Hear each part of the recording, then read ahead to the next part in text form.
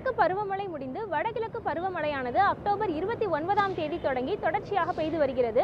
இந்த வடகிழக்கு பருவமழை தொடக்கத்திலிருந்தே கனமழை அதிகரிக்க வாய்ப்பிருப்பதாக வானிலை ஆய்வு மையம் தொடர்ச்சியாக அறிவுறுத்தி வருகிறது.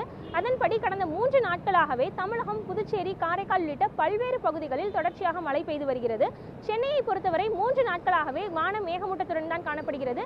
கனமழையானது சாலையின் முக்கிய பகுதிகளிலும் தொடர்ந்து பெய்து வருகிறது. இந்த கனமழை பெய்து வரும் காரணத்தினால் சென்னையின் முக்கிய சாலைகளில் அதிகப்படியான தண்ணீர் தேங்கி வருகிறது.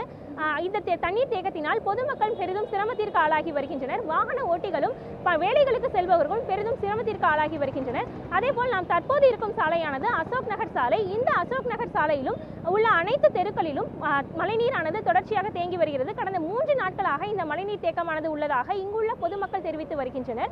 வருடா வருடம் இதுபோன்றுதான் மழைநீர் இங்கு தேங்கி வருகிறது. எந்த ஆட்சியிலும் இந்த மாற்றம் இல்லை என்றும் தெரிவித்து வருகின்றனர். இந்த மழைநீர் தேக்கமானது தொடர்ச்சியாக இருந்து வருகிறது. இதனை நிரந்தரமாக சரி செய்ய வேண்டும் என்றும் இந்த பொதுமக்கள் கோரிக்கை விடுத்து வருகின்றனர். இந்த மழைநீர் தொடர்ச்சியாக இந்த முக்கிய சாலைகளில் தேங்கி இருப்பதால் வாகன ஓட்டிகள் பெரிதும் சிரமத்திற்கு உள்ளாகி வருகின்றனர். கனமழை தொடர்ச்சியாக இருந்து வரும் காரணத்தினால் நேற்றும் மற்றும் இன்றும் சென்னை உள்ளிட்ட முக்கிய மாவட்டங்களில் விடுமுறையானது பள்ளி கல்லூரிகளுக்கு விதிக்கப்பட்டிருந்தது. அதனால் பள்ளி கல்லூரி மாணவிகள் யாரும் இங்கு வர வேண்டிய வர வேண்டிய சூழல் ஏற்படவில்லை. ஆனால் வேலைகளுக்கு செல்பவர்கள் தொடர்ச்சியாக இங்கு வர வேண்டிய சூழல் இருக்கிறது. அத்தியாவசிய தேவைகளுக்காக கடைகளுக்கு செல்பவர்கள் கூட இந்த சாலைகளில் செல்வதற்கு பெரிதும் சிரமப்படுகின்றனர்.